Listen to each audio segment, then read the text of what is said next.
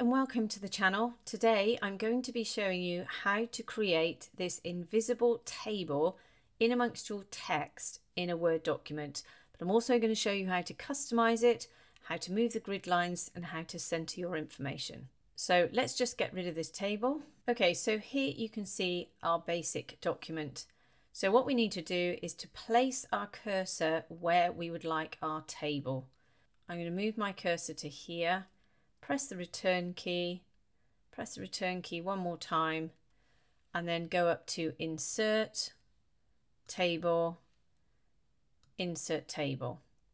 So now we can select the number of rows and columns that we want. So I'm going to select five columns and five rows and then click OK. So here we have our basic table.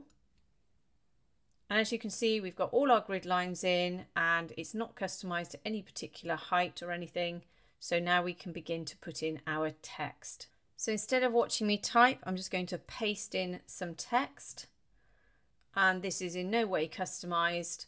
So I will now show you how you can customize all this text and take away these grid lines. So let's select all of the text.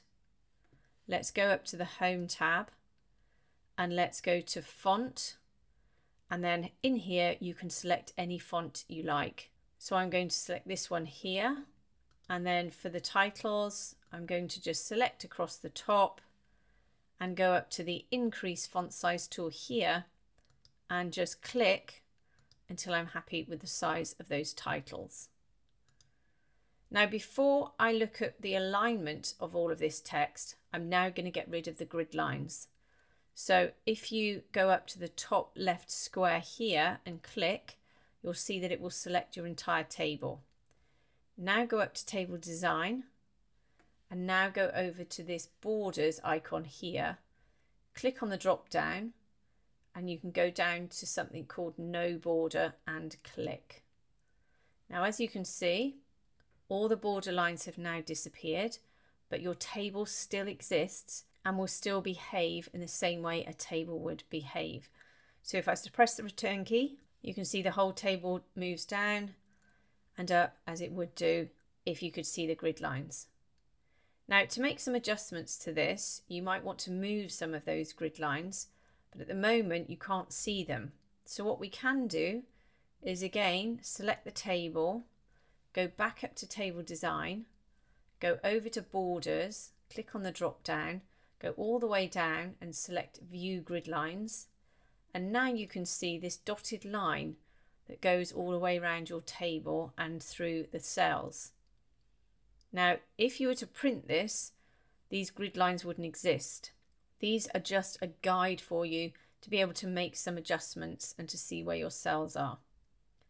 So the first adjustment that I'm going to do is I'm going to move this line here. So all you have to do is hover over the line until your cursor changes, click, and then you can drag this line over.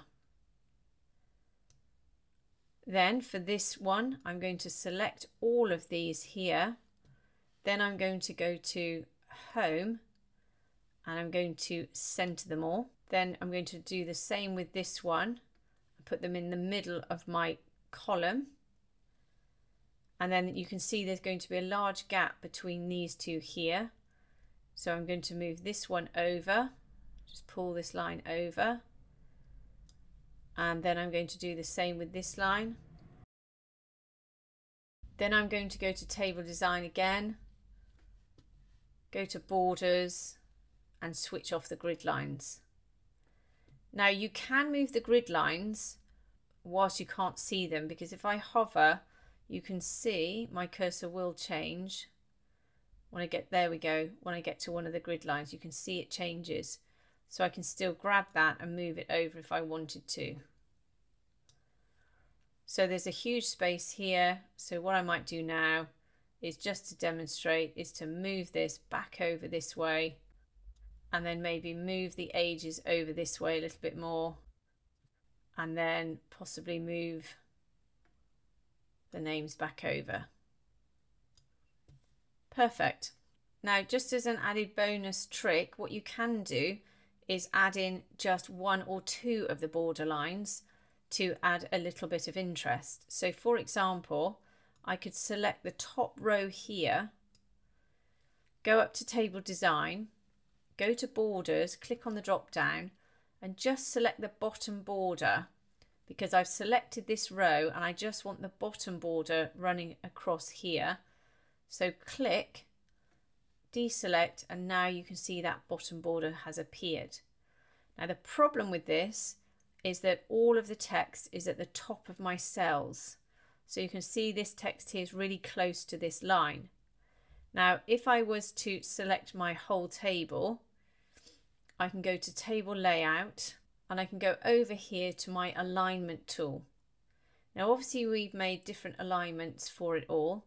So what we can first of all do is to click align to center and then we can go back over to just this column here and line everything to center left then deselect and then because everything's very close to the top we can select the table right click go down to table properties, go to cell, go to options, and in cell margins, you can go to the top here, uncheck this box, and then we can increase the top margin, let's say to 0.15, click OK, click OK, and as you can see, it's moved that text down. So there's a little more space at the top here. If you want to take that line back out, just select it again, go to table design, go to borders and uncheck bottom border and deselect. And finally, if you wanted to add a little bit of colour to any of these titles or to the rest of this table, all you need to do is to select the column or row you want to add the colour to, just highlight it, go to table design and over here you have something called shading. Click on the drop down. You have the option of all of these colours. You've got standard colours here. And if you go to more colours, you've got your colour wheel here where you can move this little circle anywhere around this colour wheel to select a colour of your choice. And this square here will tell you what colour you have selected. So when you're very happy with your colour, just click OK, deselect, and there you can see your colour at the top of your table. If you want to do the same to a row and you just select it, what you'll notice is when you go back up to table design, you go over to shading, if you click on the drop down, in your recent colours, it will have the colour you've just selected. Perfect. So I hope that's helped you today. If it has, please like and subscribe and have a great day.